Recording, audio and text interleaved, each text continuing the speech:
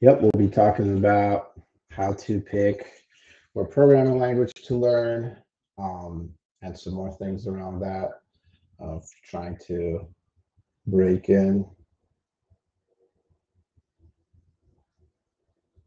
You can learn as many languages as you want.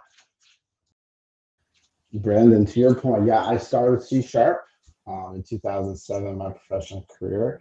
Um, at Pluralsight, our API service that supports all our native applications is actually in C sharp.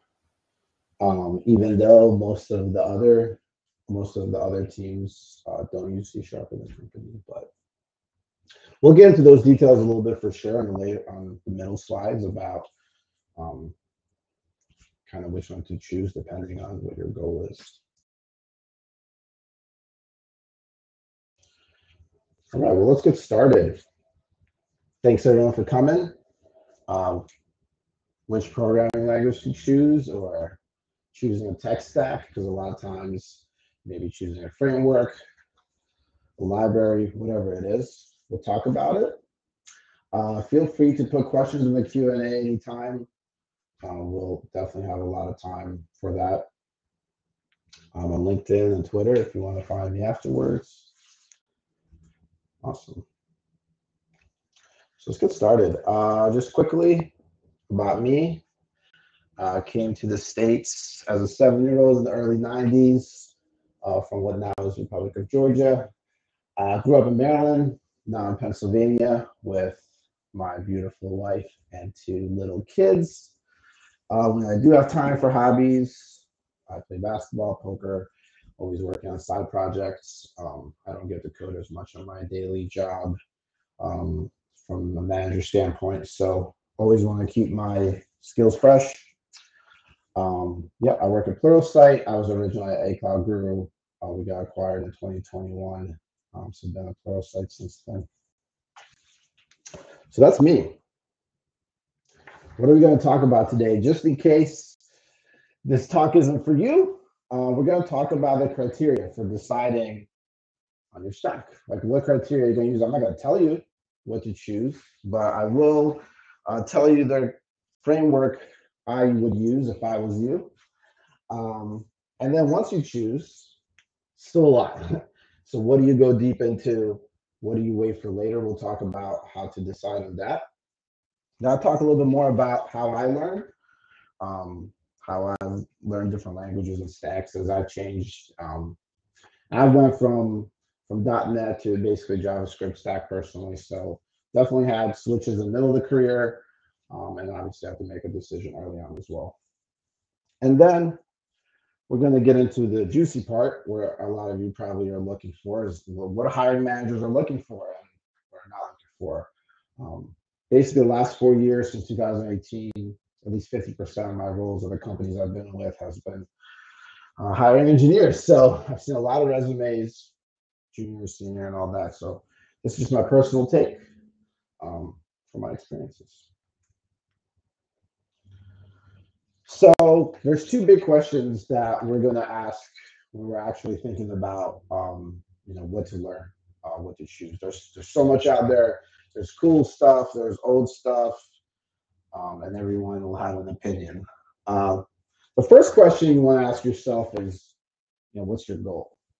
And uh, you know, go a little specific into that. Is it just get a software dev job, get a job in the software industry? Is it um, get a specific job at a company? At I want to work at Google, or I want to work in the health field. Uh, you really want to you want to really pick what's important to you because depending on that is your next step. You're going to scour the internets, right? And you're going to try to see what what makes sense. Uh, what are the words that are being repeated? Um, because a lot of times uh, there's patterns, right? Um, health companies like to use a certain stack. Hot new startups in the space like to use a certain stack. So you want to find out what is right for you based on your goal and your goal might be a startup idea or your goal might just be a, a project you want to do you want to write a chrome extension that's something that you really uh, want working for you right or get a certification whatever it is you pick your goal and the next criteria is something some people don't talk about, but what are your strengths and what are your weaknesses and what do you really like to do? Are you a visual person? You draw on the side, you make things on the side? Are you one of those logical math people? Um, were you doing were you always the A plus A plus student in school or um, you know, are you someone that's more creative? And other things too. Are you a multitasker? Are you always liking to do different things, or do you really like to sit down and focus? And not just what are you good at from a strength standpoint, but like what do you enjoy and what do you not enjoy, right? Because uh, that's going to make a difference. And if you can choose something that aligns more with um, what you're good at and what you want to want to do in general, um, it'll probably be a, a good match. So those are our two criteria. Once we decide on our goal, so let's say for a lot of us, it's it's finding a job. Uh, we're going to scour the internet for those postings. So in general, if you want a junior dev job and it's a remote, you know, just go on Indeed, LinkedIn, whatever it is, and look for what what is the language that's mostly used. Some example here is um, the first part of my career was in the DC Baltimore area, and a lot of it was consulting, contracting with government um, type of deals. So there was a lot of .NET, a lot of C Sharp, sometimes Java. And at first, when you know, it was moving from uh, from old ways of doing JavaScript, was Angular, right? But if you're around colleges, Python could be something that's big around companies that are focused on data and AI, right? Um, or if you're maybe it's even Golang or Haskell, there's you know all kinds of different things depending on what you want, um, what, what you want, what kind of job you want, local job, specific job. So again, based on your specific goal. Um, most common is going to be JavaScript stack and web development. Like um, that's pretty much the reality for right now. And then the next part of it is if you are going to go web development or really any kind of development that has a a visual aspect and a backend aspect is you want to be a front end developer or back end developer. And for sure, don't be a full stack developer. Don't be a junior full stack developer, right? You have to learn a lot. And um, I wouldn't expect, you know, a junior engineer to know it all, right? And obviously it's up to your interest. So using an example of, you know, what's most popular, which for web development right now, which is JavaScript, um, you know, if you're going front end, you want to learn React. You can do Angular, you can do Vue. I personally love Vue, but um, you know, there's going to be less jobs, right? So if your goal is to get a certain job where Vue JS is being used, then you might want to use Vue. Uh, I mean, Angular is still pretty popular, especially in the .NET world. Um, so you might want to do that. But in general, you know, most jobs are going to be React. Most of the last last three out of the four jobs I had, three of them were React, and one was Vue. In backend, you know, Node.js is popular right now, um, but really you could learn any language you want. You can learn Java, you can learn C Sharp for sure. And then you got to learn some kind of database. You're going to end up knowing both NoSQL, SQL. It really doesn't matter which one, but you want to know at least one. And we'll go more into specifics as we go here. Um, and just quickly, if, if your goal is not getting a job, you know, you want to be thinking in the same way, like if you're writing a real-time chat app, go go look on YouTube and you can find you know a lot of examples of Firebase and Node and how to do that. Uh, if you want to do video games, C Sharp is it. I don't do video games. I don't know. You got to research it and figure it out. Really look at the community around what you want to do and see where the most support is. Now, obviously, you can use a lot of languages to solve a lot of problems. So you have to make decisions and really focus on the goal as how to make the decision. So if you want to write a certain AI based project idea, and Python seems like the best way to go, but there's also support from a JavaScript standpoint, and you already know JavaScript. You know what's most important to you: get it up and working. Don't learn a new language. So get up working JavaScript, or getting a job within using with using that project. So maybe you do want to take time to learn that language. So you really want to use that framework of what your main goal is to make a lot of decisions as you start getting um, closer to actually learning. So that's that. So you use your you use your framework, your goal is, and what your strengths are, and you, you know, you kind of pick what you're doing. And for our example in on here, I'm just going to use that you picked front end and you picked React.js. Um, but we're going to, you know, talk more of that. But just as an example, um, there's a lot of there. So even if you just pick, I want to be a front end developer, I just want to use React.js, just a library, just a JavaScript library, right? It's still a lot. And you're still going to have to make decisions unless you want to learn for a long time what you should learn or not. So your goal is getting a job, a front end web development job using React.js. You definitely want to learn JavaScript basics, right? It's a JavaScript library. But React's already been around for a little bit, and there's old ways of doing things and new ways of doing things. You want to learn the new way, right? Because the old way is going to go away. Now, you may get a job where you have to work on the old way, but that's okay. You'll learn it when you need to, right? If you need to. You want to learn how to write tests, right? Whatever you pick, you want to know how to test. Um, the industry is going towards towards stepping away for, from QA, stepping away from ownership, going away from the developer, and being able to code everything, test everything, and put out their production in one way without blockers. So you really want to, you do want to focus on testing, and that's one thing we'll, you know, we'll, you know, I do want to put out there. And then you want to learn how to interact with API because that's where front end and back end meet, right? So you're learning React. You want to you want to learn these things. Before I get into what you don't want to learn, you want you want to know everything, right? Of course, everything is important. I'm not saying you don't want to learn these eventually, but what do you want to go deep into now versus later, right? State management. So if you've gotten to React a little bit, it can get really confusing, right? If you have a big app and you can't just pass props down, what do you do, right? There's Redux, MobX. Now there's even better ways to do it just with React. Don't worry about that. Don't worry about some of the most complex thing if you're applying as a junior developer, right? Remember your goal. If you're making a big app by yourself, then you need scale and has a lot of client needs, then maybe, maybe you do need to learn this. But on the goal we're working on, we don't. There's a lot of ways to organize a React app. Components, where, pages, views, all this different stuff. Don't worry about that too much, right? Because you're going to come into an architected system. You're not an architect. You're going to come into patterns that you can follow, right? Do you know how to write, write React, right? Do you know how to read it? That's more important, actually, knowing the right way to organize a React project because you won't be asked to do that as a junior engineer. And like I said, don't don't learn the old ways unless you need it for your basics, right? There's some old JavaScript code. You're using um, you're using lets and const. You're not using vars, but you still want to know why not use vars, right? So it's, it's a little bit of a trick, but and then there's a lot that goes into a React app, right? There's Babel, there's Webpack, all these things are come up. You're gonna want to go into that source code and you're gonna want to figure out like, oh, how does Webpack work? How does everything get bundled together? What's JSX? You might want to know about it, to speak about it, to answer questions about it, but you're not going to be asked to solve Webpack, you know, production problems as a junior engineer. Or if you are, then you'll be given the space to figure it out, right? Um, so that's, that's that's my opinion there.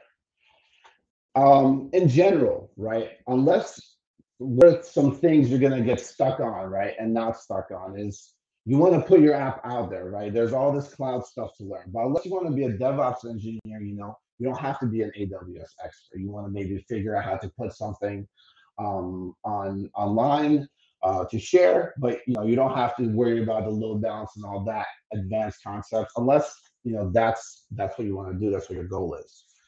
There's a million design patterns, and you want to be getting good at design patterns and doing things efficiently. But just learning what a design pattern is and not implementing it in a actual project is probably not super helpful, right? So this is one of those things that I found that you learn, you know, throughout your career. So you might want to look at them, see some basic ones, think about how to implement them, but don't get don't read the whole design design pattern book and memorize it um, unless you know you're super fast or something. But in general, algorithms. So this is a big one, right? If you want to work for Facebook, if you want to work for Google, yeah, you're going to have to know algorithms to get past the interview process. And in general, if you want to know computer science, well, and you want to get a computer science job, that's something you want to think about it.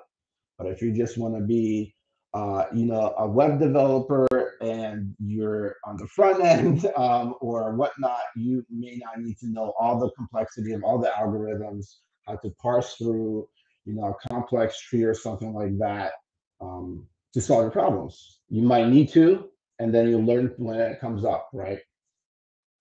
And like CI/CD pipeline. So I think you see here, there's a lot of stuff outside of React that you're going to be drawn to want to learn when you're learning React. So really, you gotta you gotta stick to to the goals here. In general, there are some things outside of React, even if you're learning it, you have to learn, right? Git. Everyone uses Git. Uh, most people use GitHub. Not everyone. There's Bitbucket. There's other ones out there, but you got you want to learn how to how to use Git for sure. Testing. I mentioned it before. I'm going to mention it again. You want to learn testing, not just unit testing. You may not want to. You may not need to know how to write end-to-end tests, but you need to at least understand testing and why it's important and when you want to do what. I have SOLID up here on the right, but basically object-oriented functional program fundamentals, right? You want to think about how to write code well, not necessarily design patterns, but basic things, right? You want to make your code readable. You want to make your your code in a way that's maintainable, right? So you want to be thinking about those as you're learning React or whatever you're learning for sure. Most modern version, right? Because the old stuff's going away, even though it's going to be supported and some people will still use it. There's legacy code. You can learn the old way of doing things. Documentation's out there. You don't want to kind of waste your time now you want to move forward. And be comfortable with pairing. And we're going to get into it. It's a little sneak peek of what's next. All right, so ways to learn. Time check. Okay. Again, this is my personal ways I learn. Um, if you if you're good at learning, you know yourself, please, you know, skip it. Don't listen to me. This is just what I do. So, so this is my path. Learning a new language, framework, a new library, I watch a tutorial. I don't follow along. I don't code along. I just watch it, right? Because the first, your mind, the way my mind works, it wants to learn everything, right? So I want to understand it. And sometimes it's hard for me to understand everything and do it at the same time, right? Where I don't fully understand and I don't fully do. Then the second time around, I'll either watch the same tutorial or a different tutorial or you know follow along a, like a blog type tutorial and actually fully follow along and write everything out. I want to have the working code base just the same. And then the third step, which I think you should get to, is then create something different with that framework, with that language, with that whatever you're learning outside of the tutorial, right? This is where you take the concepts you've learned, things you've copied, and try to do it yourself. And the fourth step is, you know, if there is a bigger project you're working on or for work, whatever it is, that's when I actually implemented there. So by the time I'm implementing in my final, a final project or whatever I've learned it for, I really learned it at least three times. Repetition for me is super important, and actually doing it is very important as well. This is not an official framework. This is just something I kind of think of in a way I'm sure a lot of smart people have other things. But when you're learning, when you're deciding to dive deep or not into something, there's there's a lot of ways, you know, how deep you go into something, right? So there's just like an awareness. I know React exists. I know it's for front end web apps capabilities. What can I do with React? What can I do with React? The next level, can I actually have a deep technical discussion with other people that can write React? Um, and all these are important. And everything you learn will fall into some level of this, right? Um, and it's something you want to think about because you might want to learn React to an actual, you know, point where you can code React. But maybe you want to learn a little bit about AWS or a little bit about design patterns where you feel like you can have a discussion about it, but you're not fully confident, right? And so after actually doing, you know, you kind of become an expert, right? So Am I a React uh, architect? No, I'm definitely not an expert. I would say I'm in the actually doing part. Uh, you know, I can learn it, but I don't know the best ways to do it. A lot of scale questions, you know, a lot of newer stuff. Like I said, in my day job, I don't code that much anymore. So um, I have to decide when I when I'm learning a new technology what level to go to. So that's just something to keep in mind. All right, we're going to the last part. This is the juicy part for everyone that wants to um, get into the engineering field. Again, this is from my personal experience. To each their own. So, what are hiring managers looking for? Um, evidence that you're competent, right? Um, it's it's a it's an easy question, but it's a hard one, especially you know when you don't have prior experience. If I'm looking at a resume that has no prior engineering jobs, no degree in computer science, you know, how do I know if you're competent, right? And we'll talk about that. So you want to make sure you can prove that you're competent. You want to make sure you're a team player because you're studying on your own.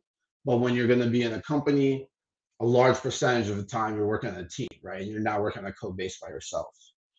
You want to prove you can learn fast. Um, and a more specific thing is you want to, well, what I want to know as a hiring manager is I want to know what you do when you get stuck, right? Because if you do take, if you do learn something to the point where you're actually doing, where you're actually coding and creating stuff, at some point you're going to have a problem and you're going to be like, I don't know how to solve it. And we'll talk about um, that as well. So evidence that you're GitHub, evidence that you're competent, GitHub, make a project, right? Because I get a resume and there's a link. I go to the project, I look at your code, and I'm seeing what what you can do, right? I'm seeing your competence. So, and that's why I say testing, right? Because the first thing I'm looking for is tests. How do you know your code's working, right? Um, so that's a great way to show competence. A great way to show what you're focusing on, diving deep into a knot. right? You're not going to be able to create a project um, and there that has everything, right? Don't let imposter syndrome take it down. Like, oh, I need to make sure my code has this design patterns and this and that. Just pick the couple important things that you want to make sure your project has, and and then you can make sure to highlight that. You got to be ready to take do take home assignments. So whenever we're hiring anyone in my teams, we're going to have some kind of pairing exercise that's based off a take home assignment most of the time, right? So they show different things, and that's why I kind of talked to about the the pairing with engineers, right? Like that is one way you can show your competence, right? We're actually working, seeing how it will be to work with others. Um, so it's just something you want to prepare for. You practice, uh, pair with your friends and any mentors. I'm sure there's a million take-home assignment examples online if you want to. And then, of course, if you have any references there, that could be, you know, could be useful, a mentor or something like that. Even if it's not from a past job, that could be useful as well. To the question of when do you what to do when you get stuck, I'm not going to tell you the answer. Everyone does something different. Um, you know, you search Stack Overflow, use Chat GPT now. Um, you have mentors, friends. Do you sleep on it? Pay someone else to do it? Probably don't want to answer that, but that way. But maybe you know you want to be honest. I don't know. But I want to know how you get unstuck. Maybe use an example. One time I was stuck trying to do this, and this is the process I went through, right? Something I definitely want to know as a hiring manager. What I'm not looking for, a lot of these are going to be repeats, right? I'm not looking for an expert. You're, you're, you're going for a junior position. I don't expect someone to be an expert, right? I'm more impressed if someone just knows the right things that give, you know, will bring value to my team, right? Um, even though you, I don't expect you to be an expert, you know, I do expect you to contribute right away. Right. So you do need to like know React if you come in a React project so you can get on and start working right away. And I'm not looking for someone who's intimidated working closely with other engineers. Like I said, it's a team environment. A lot of these environments are pairing environments. And a lot of times you're gonna, as a junior engineer or you know, starting out anywhere in the engineering field, you're gonna you're going to have to talk to other engineers. You're to have to talk to other product managers, to you know, to all kind of cross-functional team members. So really, you know, not someone who's intimidated, right? Is even though you know in the past traditionally an engineer, you know, looked like someone in the corner coding on their computer. It's not like that anymore, right? It's it's much more um, social type of environment, even remotely. I've been working remotely since 2018. Still, right? Um, still the expectation is the same. And I need someone who's willing to do whatever it takes. That does not mean that you're working until 2 a.m. every day, right? But it does mean if you need to learn a new library or framework to get a job done, you're going to learn it, right? You're open to learning. Um, that's what that really means to me. So let's wrap up, and then we are two two four minutes ahead of schedule, and I'll get to the Q and A. Even though there's no Q and A yet, maybe I'll read the chat, or if anyone has any questions, they can speak up. Um, so let's wrap up. If you've been sleeping, to pick the right stack, you want to know your goal. You want to think about your strengths, right? You want to focus once you've picked what you're working on, you want to focus on what you need to learn and ignore everything else because there's going to be there's just going to be a lot. And you want to think about how deep you're learning everything, right? Do you need to actually do everything? Do you need to become an expert in something? And then if you know what your hiring manager is going to want, give them what you want, what they want, right? If you know you're going to need to build a project start thinking about that right away, right? Start thinking about that that's the deliverable you're gonna end up with when when you're done.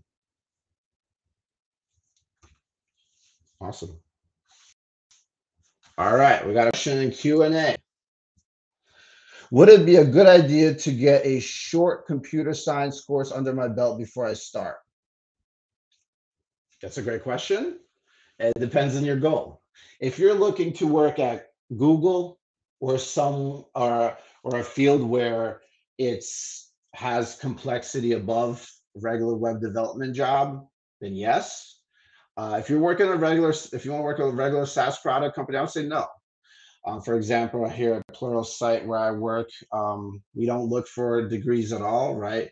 Um, we actually uh, think of it as kind of a bias, right? You have a bias. Now, for your own personal confidence, you know, if that's something you want to do, you can do it.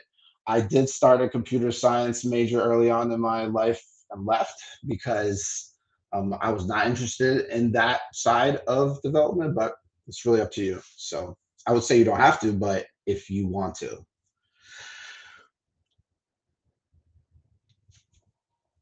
Yeah, I don't think I don't think you should let it stop stop you from learning language. Basically, Martin, I I, I think you should just go for it.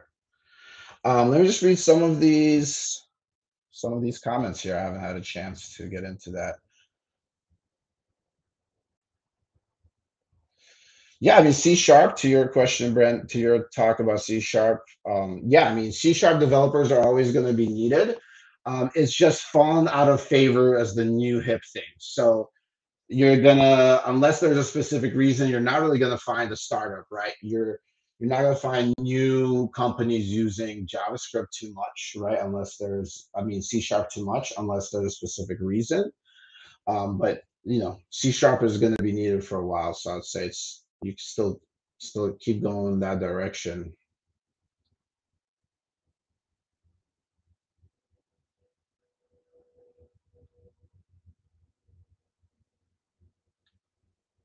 Yeah, so if web development is not your goal, Mike, that's it's awesome. The MEAN stack was, you know, it was very popular, and, and some versions of it are still popular. But yeah, if that's not something you you want to do, um, web development in general, there's a lot of different different things you get into. Um, if you want to stick in the same type of companies, but not necessarily be an engineer, like I have several I know several folks who went from engineer to product manager, right? You're already kind of um, on that track, so that's something to think about as well.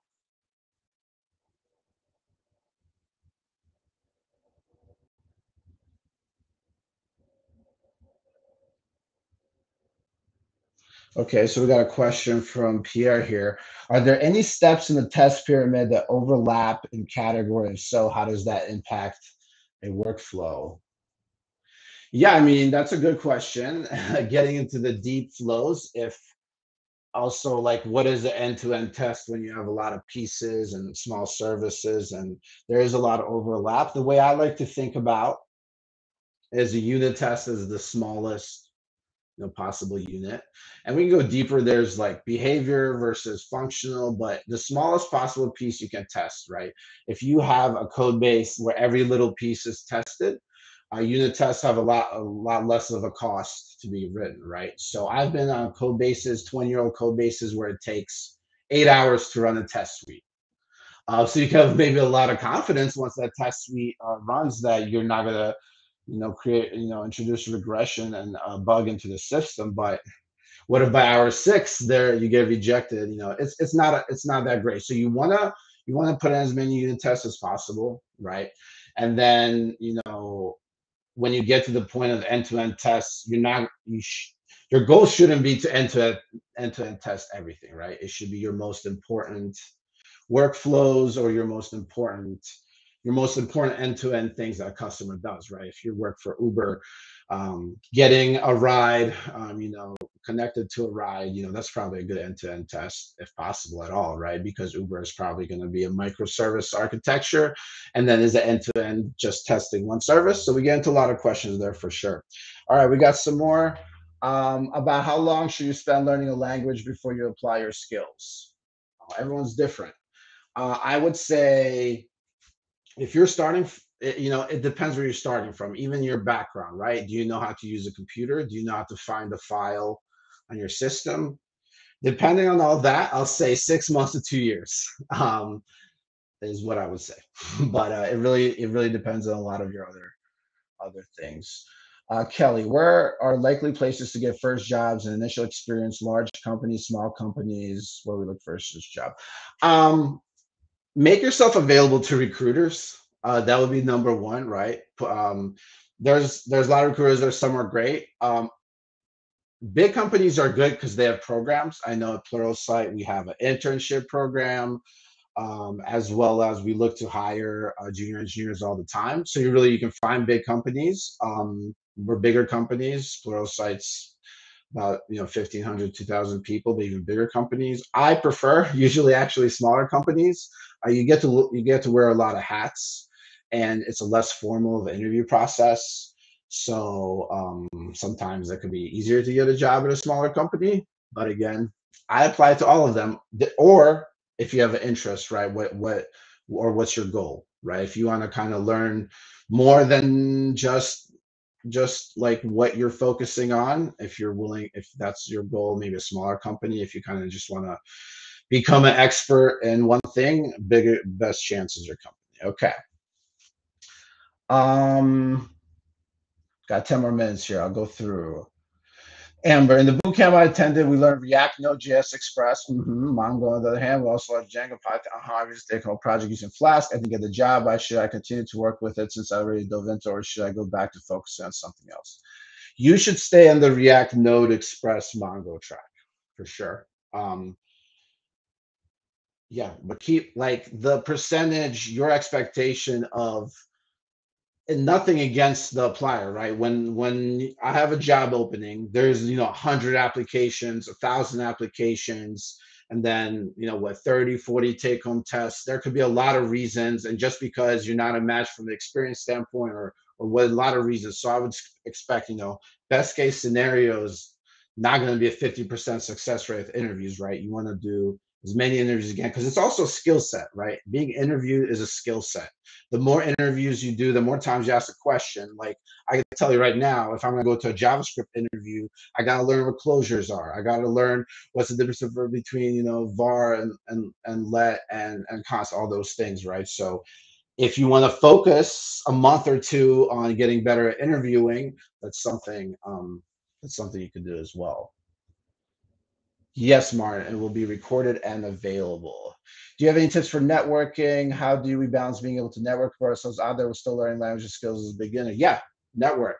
Um, don't network how they suggest in some blogs and just connect with everyone on LinkedIn and send general messages, right? Make it very specific to the person. If someone reaches out to me on LinkedIn with a specific message, especially if they're an engineer looking for any question, I will answer them if someone gives me a generic message, I'm probably going to block you. like that's that's the way it is. But go, especially if you have networking events, there's meetups all the time. Go, go. Doesn't matter how much of a newbie you are, you should be independent, right? Network is going to be more important than anything else in finding a job and, and stuff like that for sure. Um, where with AI websites like Wix, okay, so no code, uh-huh, will deaders go into their jobs in the future, more precisely, find one of the Um, to your first question, no. Um, I, I worked for a no-code company before. Um, all this stuff is great, but the it's very limited, right? It's it's like anything else. When something's abstracted and made easy, that's great for 80 to 90% of the use cases. But there's always going to be a case where a developer has to come in, right, or, or custom. And some of the early iterations of this for people showing my age here is SharePoint, right? SharePoint came out and it's supposed to be, oh, great, this intranet, you can just make um, kind of these internal, you don't have to have as much of a development, but you know, SharePoint's not even really around anymore. So um, they have good use cases and no code's awesome, but I don't think we're anywhere close to actually um, not having front end developers because uh, every every company has them that has any kind of um, application. Okay, should someone major in IT or computer science? I'm pretty sure if you could direct the question, should everybody learn a program like Python or C++? Okay, so again, it depends on your goal, right? If you want to work for NASA or Google, yeah, you want to learn computer science. Um, IT, I don't know about IT in general anymore. IT, what it means in companies these days is like getting your computer to you, making sure it's secure, right? It's not actually development in a way. So I'm not really sure what's best for IT. Um, learning your first programming language in a computer science environment is different than the goal of like getting a job. So whether it's C++, Java, Python, you're learning computer science concepts, it doesn't really matter which one you're picking, right? Because you might actually do a different stack, right? Or when I was doing computer science, initially I was learning C++, but you know, I've never worked with that professionally. Um, but I would pick Python if I had to pick for sure over um, over over C++. Um, algorithms, same answer there. Like um, in my 15 years of working in software engineering, how many times have I had to use a complex algorithm to solve a problem versus it being abstracted out by the framework or whatever I'm using? I don't remember any specific ones, maybe once or twice, um, but I haven't worked for NASA or Google, right? I've worked either for consulting companies or product companies that, you know, aren't like super complex, you know, like Pluralsight definitely has complexity, um, but it's not like it's not it's not it's not too much. So I would say it depends. And again, if you're trying to pass an interview that's with like a FAANG company, you have to learn those algorithms, you know, just to pass it, right? Not sure if I addressed your questions exactly. Um, let me go into the chat. Um, so it doesn't matter. There is no recommended server for the backend. You mean as far as hosting React? Um, most people host React with Node Express, but you can host React with .NET. You can do it in other ways. Um, it really depends.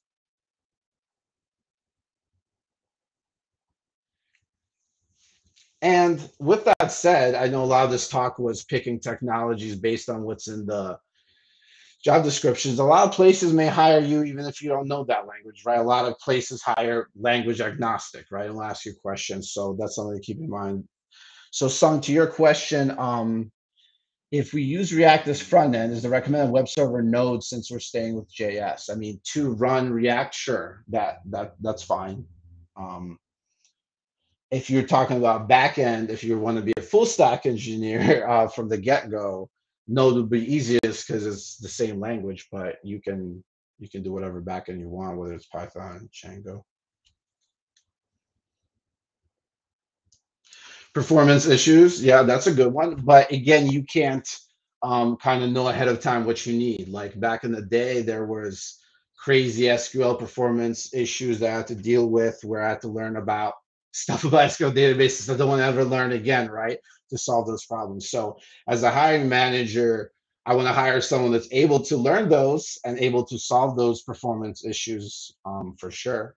But you know, um, learning everything ahead of time, it might be overkill there.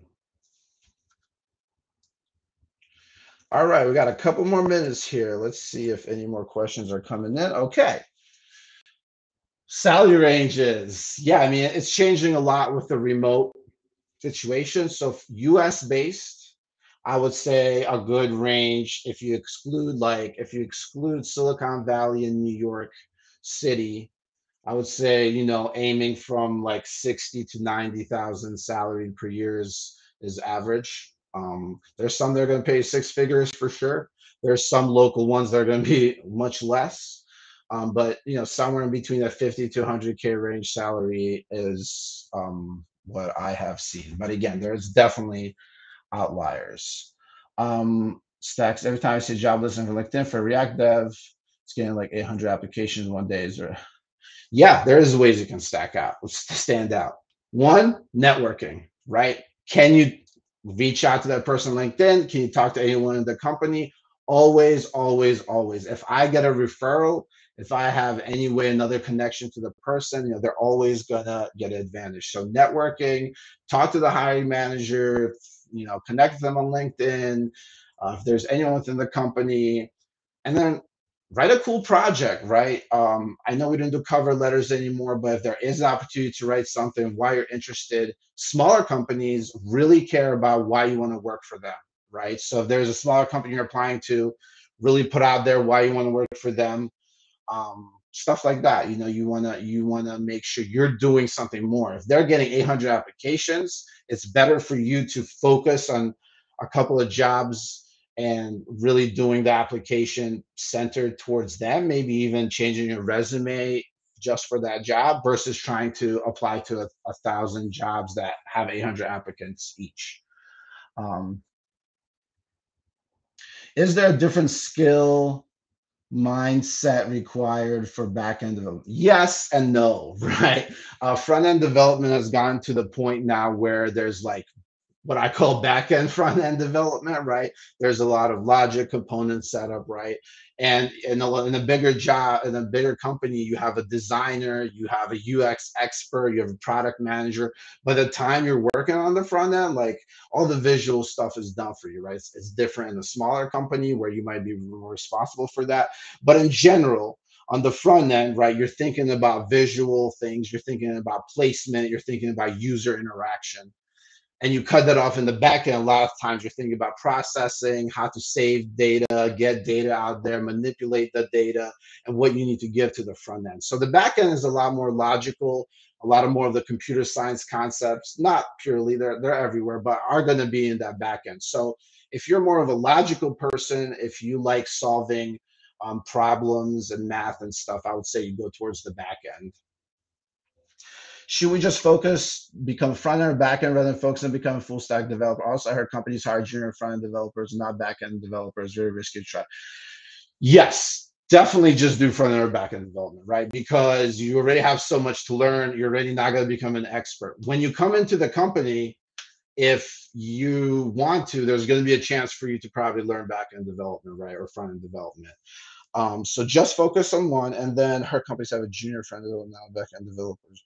So what's been happening in the industry is these boot camps, and they teach you JavaScript, right? And they a lot of times they teach you React. So a lot more boot campers are good at front end. Um, and one job I had, I was uh, the lead there, and everyone other than me was from a JavaScript boot camp. But we have so we have React on the front end, but we have C Sharp API and then Microsoft SQL database, right? So I was the only one able to work on those until I leveled them up. With that said, I don't think there's any bias towards hiring junior backend developers or front end developers.